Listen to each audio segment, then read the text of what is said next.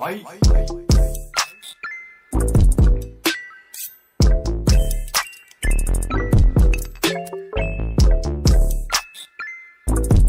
មៀបសួរសួស្តីប្រិមត្តទាំងឡាយទៅជាទាំងឆ្ងាយទៅថ្មីទាំងចាថ្ងៃនេះដែរអេមីថានេះបានលើកយករឿងមួយដែលមានចំណងជើងថា Lock on Love យកមកសម្រាប់ចាជូនប្រិយមិត្តដោយសាច់រឿងគឺបាននិយាយពីបរោះម្នាក់បរោះហ្នឹងនិយាយពីថាសម្បូរស្នេហ៍អើយសែនសម្បូរនោះដើរទៅណាមកណាហ្នឹងដឹងតែមានមនុស្សស្រីតាមចាំរងពេញហ្នឹងប៉ុន្តែគេបែរជារកស្នេហាមិនបានទៅវិញវាទៅជាបច្ច្រាស់គ្នាអញ្ចឹងវិញណាហើយបរោះម្នាក់ហ្នឹងដែរក៏បានដាក់ចិត្តតាមញ៉ែនារីម្នាក់ប៉ុន្តែក៏សយទៀតនារីម្នាក់ហ្នឹងគឺមិនបានមានចិត្តមកលើគេអីសូម្បីតែបន្តិចដោយនាងបានទៅស្រឡាញ់អ្នកផ្សេងឯនោះវិញដូចនេះហើយតើស្នេហាមួយនេះនឹងអាចទៅរួចដែរទេដើម្បីចង់ដឹងសាច់រឿងច្បាស់ចូលមកតាមដានទស្សនាជំនាញមីថានេះទាំងអស់គ្នា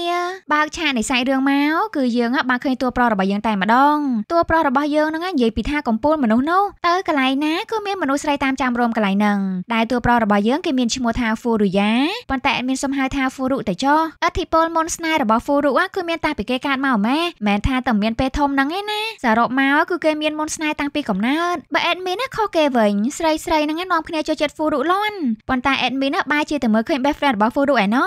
ម្នាក់ហ្នឹងគឺអប៉ែវ៉ាន់តានោះមើលទៅឡើងខ្ជូតហ្មងណាលុះមាននៅថ្ងៃមួយនោះមិត្តម្នាក់របស់ហ្វូរុក៏បានផ្អាហ្វូរុគេបាននិយាយថាហ្វូរុគឺពិតជាប្រុសមានប្រជាប្រិយភាពមែនប៉ុន្តែគេរកសង្សារមិនទាន់បានម្នាក់ទេអញ្ចឹងហើយនេះគឺបានន័យថាហ្វូរុគឺគ្រាន់តែជាមនុស្សតាក់ទាញគួរឲ្យចង់នៅក្បែរតែប៉ុណ្ណោះប៉ុន្តែគឺអត់មានស្រីស្រីណាចង់ស្រឡាញ់គេខ្លាចទៅជាសង្សារឡើយពាក្យសម្ដីទាំងអស់ហ្នឹងក៏បានធ្វើឲ្យហ្វូរុនោះភ្ញាក់ខ្លួនឲ្យព្រឺតកាត់កាត់ទៅគេអញ្ចឹងមែនតើដោយនេះហើយហ្វូរុក៏បានសម្រេចចិត្តនឹងតាមស្វែងរកសង្សារឲ្យបានម្នាក់នៅក្នុងឆ្នាំនេះតែថាហ្វូរុហ្នឹងរើសមនុស្សស្រីណាដែរហ្នឹងអ្នកនោះមិនពេញចិត្តហើយអ្នកនេះវិញក៏មិនគួរឲ្យចាប់អារម្មណ៍ពួកម៉ាក់វិញខំណែនាំស្រីស្អាតឡើងចង់មកសាលាទៅហើយប៉ុន្តែនៅតែមិនត្រូវចិត្តរបស់ហ្វូរុទៀតចុងក្រោយទៅហ្វូរុក៏បែរជាសម្លឹងឃើញស្រីស្អាតម្នាក់នេះដែលនាងមានឈ្មោះថាមីវ៉ាហើយមីវ៉ាហ្នឹងគឺមិនដែលមើលឃើញតែហ្វូរុហ្នឹងមានមុនស្នេហ៍អ្វីទេទោះបីជាបែបនេះក្តីក៏ហ្វូរុហ្នឹងមានមោទនភាពចំពោះសម្រស់ខ្លួនឯងខ្លាំងណាស់គេគិតថាតកាណាដែលគេសារភាពស្នេហ៍ហើយដឹងតែថាមីវ៉ាហ្នឹងស្រឡាញ់គេវិញជាមិនខានឡើយ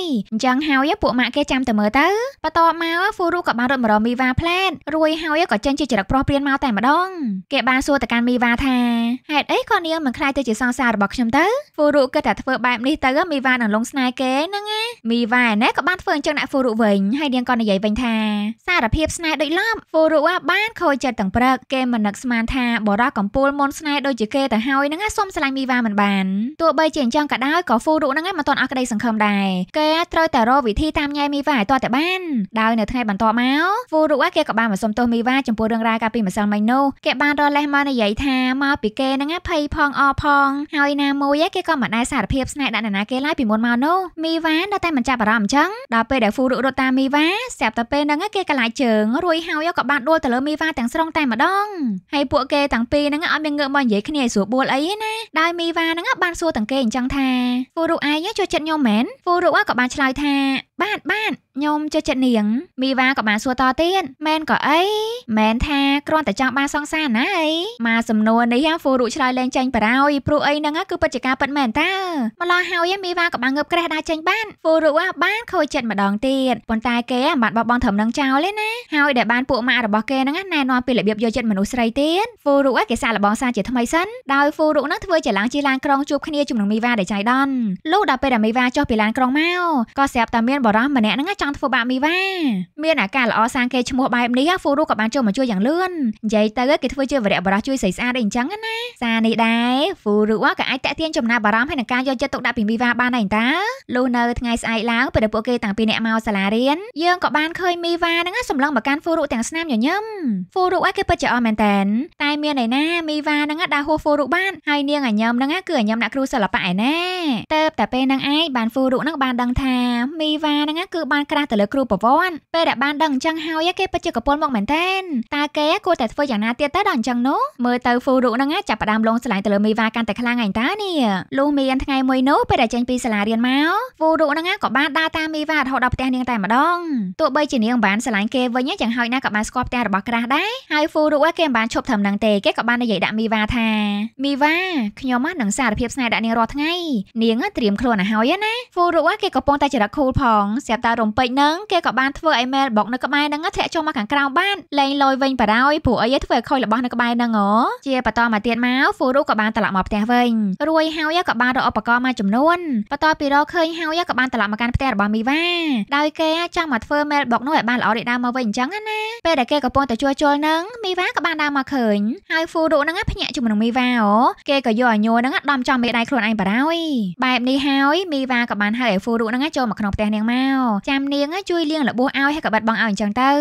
ហើយចូលផ្ទះហ្នឹងគឺដោយសារតែមានលបោះឯណាតែយ៉ាងណាក៏ដោយក៏ហ្វូរុគេសប្បាយចិត្តដែរហើយហ្វូរុក៏បានដឹងថាមីវ៉ាហ្នឹងទៅតែចេញមកពីធ្វើការក្រៅម៉ោងហើយនៅពេលនេះមីវ៉ាក៏មាននំប៉័ងយកមកផ្ទះជាច្រើនដោយសារតែនៅកន្លែងការងាររបស់នាងបានឲ្យមកការនាងមីវ៉ាក៏បានហៅឲ្យហ្វូរុហ្នឹងមកញ៉ាំជាមួយនឹងនាងទៅប៉ុន្តែពេលដែលញ៉ាំហើយទៅផ្ទះវិញភ្លាមអត់មានមកញ៉ៃញ៉ៃជាមួយនាងទេណាកំឡុងពេលដែលពួកគេកំពុងតែញ៉ាំអីនឹងដែរហ្វូរុហ្នឹងនិយាយពីនិយាយច្រើននោះគេសួរពីនេះពីនោះមិនចេះអស់សោះមីវ៉ានេះឡើងធុញហ្មងនាងក៏បាននិយាយថាសូមស្ងាត់មាត់ហើយអង្គុយញ៉ាំអីឲ្យស្ងៀមមើលបានអត់ហ្វូរុក៏ស្ងាត់មាត់ទៅ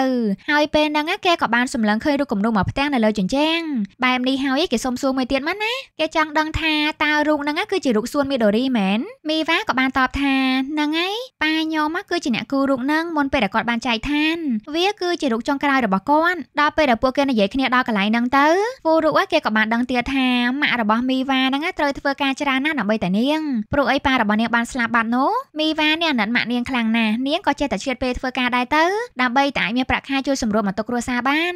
រួយមកទៀតមកហ្វូរុគេក៏បានសួរទៀតនាងនៅតែឯងអញ្ចឹងអត់ធន់ទេខ្ញុំគិតថានាងគួរតែរកមិត្តភក្តិម្នាក់ទៅសំណួរមួយនេះវាពិតជាប៉ះពាល់ផ្លូវចិត្តខ្លាំងណាស់មីវ៉ាក៏បានប្រមូលនំប៉័ងរបស់នាងយកមកទុកវិញអស់រួមទាំងនិយាយថាមានពីណាគេចង់ដើរជាមួយនឹងមនុស្សដែលទៅតែពេលយប់អញ្ចឹងឯងមិនត្រឹមតែនិយាយអញ្ចឹងទេមីវ៉ាក៏បានដេញឲ្យហ្វូរុហ្នឹងចេញទៅផ្ទះទៀតផងហើយនាងក៏បានបញ្ជាក់ប្រាប់គេដែរថានាងនៅម្នាក់ឯងឡើងស៊ាំទៅហើយបន្ទាប់មកពេលដែលហ្វូរុបានមកដល់ផ្ទះវិញនោះគេក៏បានសុំអប៉ាគេរឿងមួយប៉ុន្តែយើងមិនទាន់បានដឹងថាតើគេហ្នឹងសុំរឿងអ្វីឡើយហើយរឿងក៏បានកាត់មកពេលព្រឹកពេលដែលមីវ៉ាងើបពីគេមកនាងស្រាប់តែឃើញហ្វូរុហ្នឹងគឺជាអ្នកចិត្តខាងបន្ទប់របស់នាងតែម្ដងហើយហ្វូរុរើមកនៅទាំងយំសាហាវរបស់គេយប់មិញហ្នឹងគឺហ្វូរុបានសុំអប៉ារបស់គេហ្នឹងរើមកនៅក្បែរមីវ៉ាហ្នឹងឯងតួប្រុសរបស់យើងកំពុលអ្នកតាមញ៉ាយមិនណយដែរហ្នឹងលុះពេលដែលហ្វូរុបានមកដល់សាលារៀនគេក៏បានអួតប្រាប់ best friend របស់គេឲ្យបានដឹងរឿងហ្នឹងដែរគេប្រាប់ថាទម្រាំតែសុំអប៉ាគេយល់ព្រមហ្នឹងគេសុំឡើងយូរហើយនៅព្រឹកនេះគឺមានម៉ោងសិល្បៈមុនគេមីវ៉ាណែពេលដែលបានឃើញលោកគ្រូសិល្បៈចូលមកបង្រៀនហើយនាងក៏បានអង្គុយសម្លឹងគាត់ទាំងញញឹមជាប់ពេលដែលបានឃើញបែបនេះទៅហ្វូរុគេឡើងប្រច័ណ្ឌខ្លាំងណាស់លុះដល់ពេលល្ងាចឡើងពេលដល់ម៉ោងចេញទៅផ្ទះហ្វូរុក៏ស្រាប់តែឃើញម្ចាស់បំណុលបានមកទារប្រាក់មីវ៉ាដល់ផ្ទះប៉ុន្តែមីវ៉ានេះអត់ព្រមបើកទ្វារឲ្យឡើយនាងនៅសង្ងំនៅក្នុងបន្ទប់តែម្នាក់ឯងអញ្ចឹងទៅហ្វូរុក៏មានកំណត់ល្អមួយដោយគេបានផ្លាប់បង្អួចពីនៅបន្ទប់របស់គេហ្នឹងមកកាន់ផ្ទះរបស់មីវ៉ាគេចង់មកជួយសង្គ្រោះនាងពីម្ចាស់បំណុលហើយម្ចាស់បំណុលឯនេះវិញក៏រុញទ្វារកាន់តែខ្លាំងទៅខ្លាំងទៅតើតែអញ្ចឹងបានមីវ៉ាណាព្រមទទួលយកការជួយរបស់ហ្វូរុដោយពួកគេទាំងពីរនាក់ហ្នឹងត្រូវផ្លាស់ទៅកាន់បន្ទប់របស់ហ្វូរុវិញគ្រាន់តែពួកគេផ្លាស់បានភ្លាមម្ចាស់បំណុលក៏បានចូលមកដល់ក្នុងផ្ទះរបស់មីវ៉ាល្មមប៉ុន្តែពេលហ្នឹងពួកគេរកមីវ៉ាមិនឃើញឡើយហើយម្ចាស់បំណុលហ្នឹងពិតជាយល់ស្ថានភាពខ្លាំងណាស់គាត់ក៏បានដើរមកកាន់បន្ទប់របស់ហ្វូរុវិញហើយបន្ទប់ហ្វូរុហ្នឹងក៏អត់ចាក់សោទៀតមានអីចាប់បានស្រែកបារោយហ្វូរុឯនេះក៏បានជួយសុំអំបោជំនួសឲ្យមីវ៉ាឯម្ចាស់បំណុលពេលដែលបានឃើញហ្វូរុហើយក៏ដូចជាទន់ចិត្តតែម្ដងអញ្ចឹងហើយគាត់លើកលែងឯងមួយថ្ងៃទៅចុះម្ចាស់បំណុលក៏បាននាំកូនចៅត្រឡប់ទៅវិញជាបន្តមកទៀតមកមីវ៉ាក៏បានដើរទៅយកនំប៉័ងពីផ្ទះរបស់នាងយកមកញ៉ាំនៅផ្ទះហ្វូរុជាមួយគ្នាពួកគេទាំងពីរនេះចាប់ផ្ដើមស្និទ្ធស្នាលជាមួយគ្នាទៅឯណាហើយមីវ៉ានាងតែងតែហៅហ្វូរុថាឡប់ឡប់ព្រោះអីចរិតចេញមកហ្នឹងណាឡប់ឡប់មែនប៉ុន្តែគួរឲ្យស្រឡាញ់លុះនៅថ្ងៃចូលរៀនបន្តមកទៀតហ្វូរុនៅតែសង្កេតឃើញមីវ៉ានឹងចូលចិត្តគ្រូសិល្បៈតារ៉ែលហើយដែលចង់ស្រាយចម្ងល់ឲ្យអស់ពីក្នុងខួរក្បាលរបស់គេហ្វូរុក៏បានឆ្លៀតឱកាសចូលមកសួរគ្រូសិល្បៈពេលគាត់នៅតែម្នាក់ឯងគេបានសួរថាលោកគ្រូតើលោកគ្រូចូលចិត្តមីវ៉ាមែនលោកគ្រូសិល្បៈក៏បានតបថាគ្រូចូលចិត្តតើនាងគឺជាសិស្សដែលបកកែគូរូកាស្អាតក៏ស្អាតឆ្លាតហើយចិត្តល្អទៀតហ្វូរុតវងខំតភ័យតើស្មានតែថាគ្រូសិល្បៈហ្នឹងចូលចិត្តមីវ៉ាក្នុងនាមជាសង្សារតាមពិតទៅគាត់ចូលចិត្តនាងនៅក្នុងនាមជាកូនសិស្សរបស់គាត់សោះហើយនៅថ្ងៃនេះដែរពេលដល់ម៉ោងចេញពីសាលារៀនទាំងហ្វូរុហើយនិងមីវ៉ាហ្នឹងក៏បានដើរមកផ្ទះវិញជាមួយគ្នាពួកគេឥឡូវខ្លាយទៅជាមិត្តនឹងគ្នាហើយណាហើយស្នេហាគឺចាប់ផ្ដើមពីមិត្តនឹងឯងហើយទោះបីជាហ្វូរុហ្នឹងត្រូវតាមញ៉ាយមីវ៉ារាល់ថ្ងៃក៏ដោយក៏គេមិនភ្លេចមកដើរជាមួយនឹង best friend របស់គេដែរមិនថាបានតាមញ៉ាយស្រីស្អាតឲ្យភ្លេចពួកម៉ាអីណារីឯពួកម៉ារបស់ហ្វូរុដែលបានដឹងថាហ្វូរុហ្នឹងលងស្រឡាញ់ទៅលើមីវ៉ាកាន់តែខ្លាំងទៅបែបនេះពួកគេក៏បានណែនាំឲ្យហ្វូរុហ្នឹងសារភាពស្នេហ៍ពិតទៅហើយសារភាពហ្នឹងគឺនៅថ្ងៃដែលសាលាបានរៀបចំឲ្យដើរលេងជុំគ្នានោះហ៎សារភាពពេលនោះគឺដងតែរ៉ូមែនទិកអស់និយាយហ្មងបន្តមកទៀតមកពីមួយថ្ងៃទៅមួយថ្ងៃហ្វូរុហើយនិងមីវ៉ាអាសាបានញ៉ាំបាយជុំគ្នាណាដោយសារតែម៉ាក់របស់មីវ៉ាហ្នឹងរវល់ការងារច្រើនក៏ដែរមិនសូវមានពេលនៅផ្ទះឡើយហើយពេលដែលពួកគេទាំងពីរបាននិយាយពីរឿងសាលាឲ្យដើរលេងជុំគ្នានោះមីវ៉ាក៏បានប្រាប់ហ្វូរុថានាងមិនបានចូលរួមឡើយហើយនាងក៏មិនបានប្រាប់ហេតុផលអ្វីច្រើនដែរហ្វូរុក៏បានយករឿងនេះទៅប្រាប់ឲ្យពួកម៉ាក់បានដឹងទាំងកំសត់ខំរៀបចំ plan អីស្រួលបួលអស់ហើយបែរជាមីវ៉ាហ្នឹងមិនបានទៅវិញ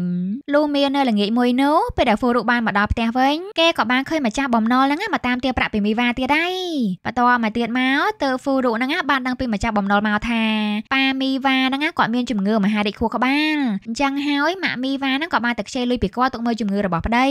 មកពីអញ្ចឹងឯងបានជាម៉ាក់មីវ៉ាហ្នឹងជាពាក់លុយគាត់ច្រើនបែបនេះនោះហើយតាំងពីហ្វូរុបានដឹងរឿងហ្នឹងមកយប់ឡើងហ្នឹងគេអត់សូវនៅផ្ទះទេយ៉ាងណាគេក៏ឆ្លៀតធ្វើម្ហូបបន្តិចបន្តួចដែរទុកឲ្យមីវ៉ាញ៉ាំពេលដែលនាងត្រឡប់មកពីធ្វើការវិញនោះដោយហ្វូរុបានភ្ជួរម្ហូបទុកឲ្យមីវ៉ាហ្នឹងនៅមុខបន្ទប់របស់នាងតែម្ដងគេក៏បានទៅសេណូទុកឲ្យមីវ៉ាហ្នឹងបានដឹងដែរមីវ៉ាណែបន្ទាប់ពីបានញ៉ាំរួចហើយនាងក៏លាងចានដែលបានស្អាតបានរួចហើយក៏យកទៅដាក់នៅមុខបន្ទប់ឲ្យហ្វូរុវិញទៅនាងក៏បានទៅសេណូទុកឲ្យហ្វូរុវិញដែរនាងបានទៅសេថាម្ហូបហ្នឹងឆ្ងាញ់ណាហើយការដែលយើងអត់ឃើញហ្វូរុនៅផ្ទះរហូតបែបនេះគឺដោយសារតែគេហ្នឹងបានចេញមកធ្វើការក្រៅម៉ោងដើម្បីតែអាចឲ្យគេហ្នឹងរកលុយរកអីបានអញ្ចឹងណាគេចង់យកលុយដែលគេរកបានដោយផ្ទាល់ហ្នឹងទុកចេញឲ្យមីវ៉ា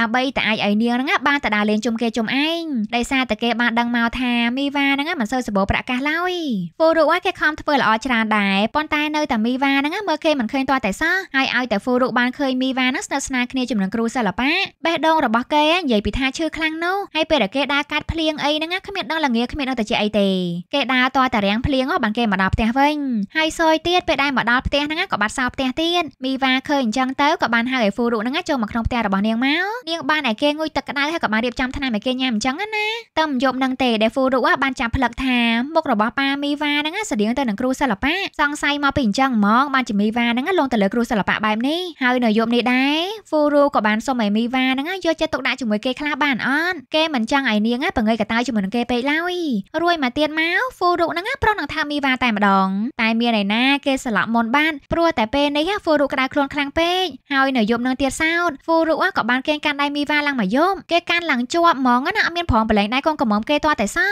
ដូច្នេះហើយពួកគេទាំងពីរនាក់ហ្នឹងក៏គេងក្បែរគ្នាពេញមួយយប់តែម្ដងទៅហ្នឹងចេះសំណាងថ្ងៃយប់មិញហ្នឹងម៉ាក់មីវ៉ាមិនបានមកផ្ទះលុះដល់ពេលព្រឹកឡើងពេលដែលហ្វូរុបានដឹងខ្លួនមកវិញហើយមីវ៉ាក៏បានឲ្យហ្វូរុហ្នឹងទៅគេនៅបន្ទប់របស់គេវិញចុះថ្ងៃហ្នឹងមិនបាច់ទៅរៀនទៅសូត្រអីទេចាំនាងជាអ្នកសូនច្បាប់គ្រូឲ្យហ្វូរុបានក៏យកចិត្តទុកដាក់អញ្ចឹងទៅដឹងតែឆាប់ជាសះហ្មងលុះដល់ពេលល្ងាចឡើងម្ចាស់បំណុលម្នាក់នេះក៏បានមករកមីវ៉ាទៀតប៉ុន្តែគាត់មកហ្នឹងមិនមែនមកចង់ទារប្រាក់អីណាគឺគាត់ចង់ប្រាប់នាងថាមីវ៉ាហ្នឹងមានសង្សារល្អខ្លាំងណាស់សង្សារហ្នឹងចេះរលុយទាំងនៅរៀនដើម្បីតែឲ្យឲ្យមីវ៉ាហ្នឹងបានទៅដើរលេងជុំសាលានឹងគេបានហើយគាត់ក៏បាននិយាយដែរថាហ្វូរុហ្នឹងសង្ហាមែនប៉ុន្តែរៀងឡប់ឡំបន្តិចសាច់រឿងក៏បានកាត់មកថ្ងៃដើរកំសាន្តនោះតែម្ដងពេលដែលបានដើរលេងជុំគ្នាអញ្ចឹងទៅដឹងតែបានសប្បាយហើយព្រោះអីវាគឺជាអនុស្សាវរីយ៍ដែលមិនអាចបំភ្លេចបានឡើយមីវ៉ាណេះបានមករីករាយបែបនេះគឺគួរតែអរគុណទៅកាន់ហ្វូរុនៅថ្ងៃនេះដែរ best friend របស់ហ្វូរុក៏បានរៀបចំដើម្បីឲ្យហ្វូរុហ្នឹងបានសារភាពស្នេហ៍ពិតរបស់គេនៅយប់នេះតែម្ដងម្ល៉េះហើយពេលដែលយប់ងងឹតបានចូលមកដល់ខាងសាលារៀនក៏មានកម្មវិធីឲ្យសិស្សៗហ្នឹងចូលទៅក្នុងព្រៃនៅក្បែរនេះដើម្បីតែឲ្យពួកគេហ្នឹងថតរូបក្រុមផ្កាយនៅលើមេឃបានអញ្ចឹងណាលោកគ្រូក៏បានទុកពេលឲ្យពួកគេហ្នឹងដើរមួយម៉ោងទៅចុះហើយនេះគឺជាអាការរបស់ហ្វូរុឯងតាគេក៏បានបបួលមីវ៉ាហ្នឹងឲ្យមកដើរជាមួយគេ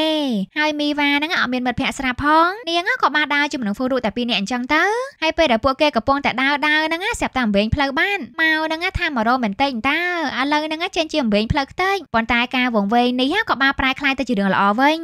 ដោយពួកគេទាំងពីរហ្នឹងបានមកដល់ទីកន្លែងមួយយ៉ាងស្រស់ស្អាតមែនទែននៅទីនេះគឺប្រជុំទៅដោយវងតារារាប់ពាន់ដួងតារាហ្នឹងក៏បានបញ្ចេញពន្លឺមកយ៉ាងព្រៃព្រៃគួរឲ្យចង់អង្គុយកូនពេកក្រៃកន្លងពួកគេទាំងពីរក៏បានអង្គុយសម្រាប់មើលផ្កាយលេងបន្តិចទៅហើយពេលហ្នឹងដែរមីវ៉ាក៏និយាយថា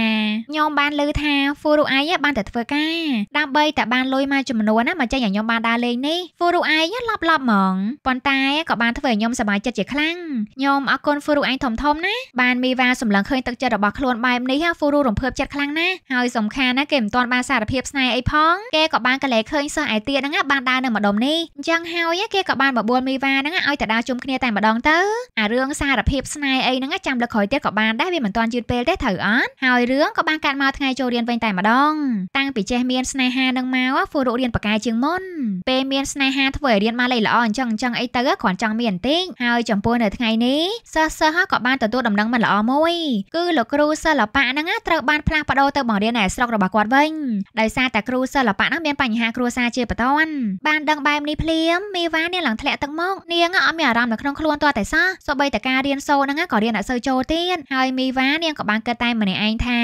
មនុស្សដែលនាងស្រឡាញ់គឺបានចាក់ចេញពីនាងម្នាក់ម្ដងម្នាក់ម្ដងរហូតម្ល៉េះហើយតើចុងក្រោយទៅនាងត្រូវឯកាម្ដងទៀតមែនមីវ៉ាឈឺចិត្តស្អិតទ្រូងពេកទៅឡើងដល់ថ្នាក់ឈឺក្តៅខ្លួននឹងឯចេះសំណាងឯហ្វូរុបានដឹងតន់នោះគេក៏បានមកជួយមើលថែនាងម្ដងហើយនិយាយអញ្ចឹងថ្ងៃនេះគឺជាថ្ងៃចុងក្រោយរបស់គ្រូសិល្បៈឯណាបើមីវ៉ាឈឺអញ្ចឹងមិនអាចបានជួបគ្រូសិល្បៈជាលើកចុងក្រោយណាម្ល៉េះហើយមីវ៉ាក៏បានល្អប្រាប់ហ្វូរុថានាងតែអញ្ចឹងឯងនាងមិនដែលបានប្រាប់ពីអារម្មណ៍ពិតរបស់នាងចំពោះមនុស្សដែលនាងស្រឡាញ់ឡើយសូម្បីតែប៉ារបស់នាងក៏ដោយចុះក៏នាងបានប្រាប់ពីអារម្មណ៍របស់នាងដែរហើយដើម្បីតែអាចសម្រេចបំណងរបស់មនុស្សដែលគេស្រឡាញ់បានហ្វូរុក៏បានបបួល best friend របស់គេហ្នឹងឲ្យជួយគេបន្តិចមកដោយហ្វូរុបានរត់ពីសាលារៀនមកកាន់ផ្ទះរបស់មីវ៉ាវិញហើយក៏បានសួរនាងថាតើមីវ៉ាឯងចូលចិត្តគ្រូសិល្បៈត្រូវអត់បើនាងចូលចិត្តគាត់ក៏សារភាពប្រាប់គាត់ទៅខ្ញុំដឹងថាឥឡូវហ្នឹងនាងកំពុងតែឈឺប៉ុន្តែនាងត្រូវតែប្រាប់មនុស្សសំខាន់ពីអារម្មណ៍របស់នាងមិនម៉ាចាំខ្ញុំជាអ្នកជួននាងទៅរកគាត់ណាមីវ៉ាឡើងមានកម្លាំងចិត្តព្រឹសនាងក៏បានរៀបចំខ្លួនចេញមកជាមួយនឹងហ្វូរុទាំងឈឺហើយពួកម៉ាក់ហ្វូរុឯនេះវិញក៏បានយកកៅអីរុញមួយនោះយកមកដាក់មីវ៉ាពួកគេនឹងនិយាយពីថាជួយគ្នាមែនតែនរួយហើយហ្វូរុក៏បាននាំគ្នារុញមីវ៉ាហ្នឹងសម្ដៅទៅរកគ្រូសិល្បៈយ៉ាងលឿនធ្វើមិនក៏ដោយឲ្យទៅពួកគេហ្នឹងអាចទៅតន់ជើងហោះហើររបស់គ្រូសិល្បៈបានដោយលោកគ្រូសិល្បៈហ្នឹងក៏ត្រូវហោះហើរចេញទៅកាន់ហុកកៃដូហ្វូរុអស់ពីរុញមីវ៉ាហើយគេក៏ត្រូវអ៊ីវនាងជាបន្តទៀតហើយទីបំផុតទៅពួកគេក៏អាចរកឃើញគ្រូសិល្បៈល្មមដូច្នេះហើយមីវ៉ានាងក៏បានព្យាយាមដើរទៅរកគ្រូសិល្បៈហើយនាងក៏បាននិយាយប្រាប់គាត់ថាលោកគ្រូខ្ញុំមានរឿងសំខាន់មួយចង់ប្រាប់ឲ្យលោកគ្រូបានដឹងគឺខ្ញុំចូលចិត្តលោកគ្រូខ្ញុំអរគុណលោកគ្រូខ្លាំងណាស់សម្រាប់រយៈពេលកន្លងមកលោកគ្រូសិល្បៈក៏បានតបវិញ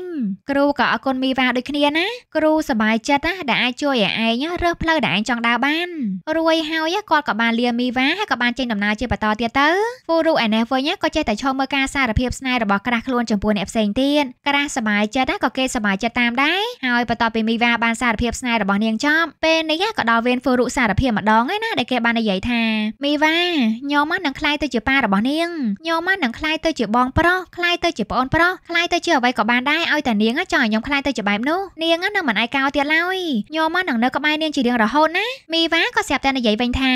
ហ្វូរុអាខ្ញុំគិតថាខ្ញុំស្រឡាញ់លោកគ្រូសិល្បៈនៅក្នុងនាមជាឪពុកម្នាក់តែប៉ុណ្ណោះហ្វូរុឯងគឺជាអ្នកធ្វើឲ្យខ្ញុំបានយល់ពីអារម្មណ៍របស់ខ្លួនឯងហើយខ្ញុំក៏បានលងស្រឡាញ់ទៅលើហ្វូរុឯងដែរណាខ្ញុំចូលចិត្តហ្វូរុឯងអាយ៉ាស្រឡាញ់គេវិញបារហើយហើយសារភាពស្នេហ៍អញ្ចឹងហើយដើរចេញមិនអញ្ចឹងហ្វូរុក៏បានរត់ទៅចាប់ទាយមីវ៉ាហ្នឹងយកមកអោបជាប់រួយហើយគេក៏បានថើបនាងតែម្ដងប៉ុន្តែមីវ៉ាក៏បានរុញគេចេញថ្នមថ្នមរួមទាំងនិយាយថា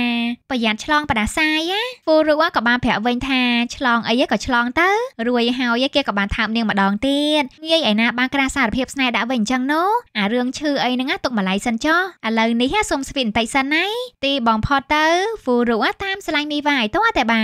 ហើយរឿងមួយនេះក៏បានមកដល់ទីបញ្ចប់ត្រឹមតែប៉ុណ្្នឹងឯងអ្នកដែលកំពុងតែមើលវីដេអូ admin ណាមានពីណាគេលួចក្រាស់ដូចហ្វូរុដែរអត់បើថារកឱកាសណាល្អបានហើយក៏សារភាពស្នេហ៍ហើយហើយទៅបើថាគេមិនបានស្រឡាញ់យើងវិញទេនឹងអាងយើងក្រាស់អ្នកផ្សេងទៀតចាប៉ុន្តែបើសិនជាក្រាស់របស់យើងមានចិត្តមកឲ្យយើងវិញដែរមិនខូលណាអូខេអរគុណច្រើនអ្នកទាំងអស់គ្នាសម្រាប់ការតាមដានទស្សនារឿងមួយនេះណារងចាំជួបជាមួយអ្នកមីងថៃនេះម្ដងទៀតនៅវីដេអូក្រោយអរគុណច្រើន